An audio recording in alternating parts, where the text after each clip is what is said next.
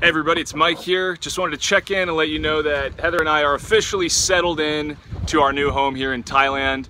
Uh, right this moment, we're kind of just taking in the scenery here in the bay where our property is situated.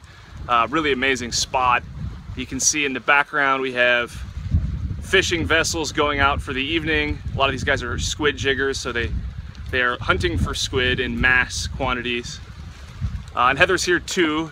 She is down here she is this tiny little speck of a human taking photos, taking in the scenery. So we're loving it here. It's an amazing place. You can kind of see some of the lush greenery behind us here. We're sort of just down a hill from where we're living now. So we love the location, but I have to report that the research has been so far more challenging than we would have hoped. Um, this is due to visibility. So for those of you who aren't familiar with visibility. This is a term we use to describe how much you can see through the water when you're underwater.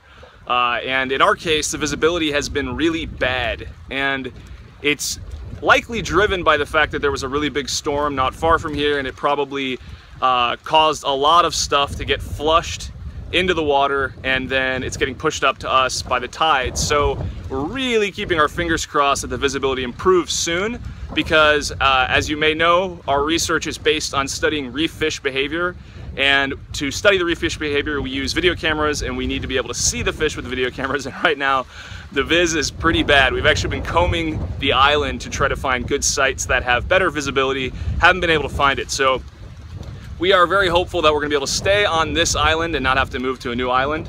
Um, but time will tell. This is one of the catch-22s about doing field research. You get to work in amazing places like Thailand, taking amazing scenery like this as a perk, but if weather doesn't cooperate with you, you are uh, sort of just out of luck. You can't control it, right? So do us a favor, think positively, and if you guys have any questions about how things are going for us and what it's like working out in Thailand, go ahead and add them to the comments and uh, I'll do my best to answer them. Heather and I will together uh, try to put our heads together and come up with something sensible in response.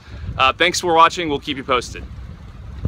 All right, here we go. I'm gonna try not to die while I do this.